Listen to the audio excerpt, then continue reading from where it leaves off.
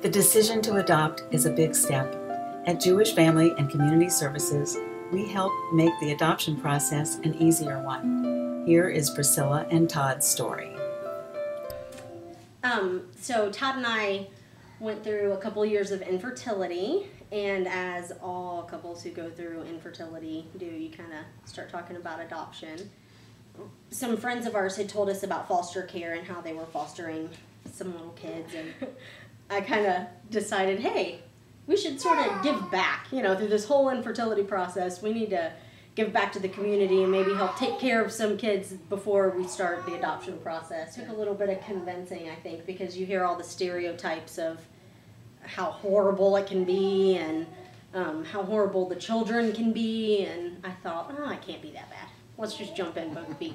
Weeks of, um, couple months, I guess, of fostering, we got a call said they had three, two little girls at the time that um, were up for adoption and needed a home and asked if we were interested in um, adopting. Um, I fell in love as soon as I saw him, and um, I knew right away.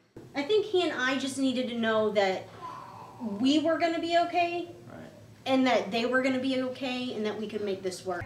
I think our story is unique because all of the girls come from the same biological mom, um, and that forms a bond. I never knew um, that you could love more than he and I loved each other.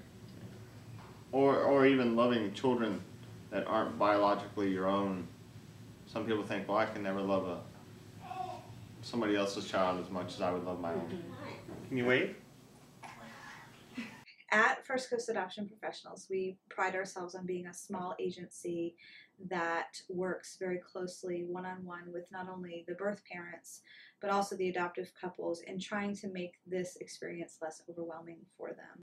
The girls came to us through Jewish family, and uh, Rebecca Margulies was their adoption worker, and she is just a gem. She's so sweet and um, took what can be a daunting process of paperwork and waiting and waiting and waiting and waiting and waiting and made it seem short and quick and to the point and Very easy.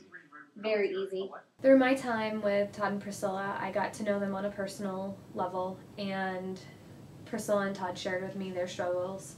Just getting to see this adoption finalize was amazing. And Angela was uh, Abigail's caseworker through the process, and she was on top of everything. And I mean, every question we gave her, she had an answer for. If she didn't, she found an answer. She was just um, wonderful to work with. Even even after the adoption, she still stays in contact with the girls. it's humbling every day. Every single day, I sit back, whether it's chaotic and all heck is breaking loose and everybody's screaming mommy at one time, or whether it's an easy day where we're just playing and smooth sailing. I sit back and go,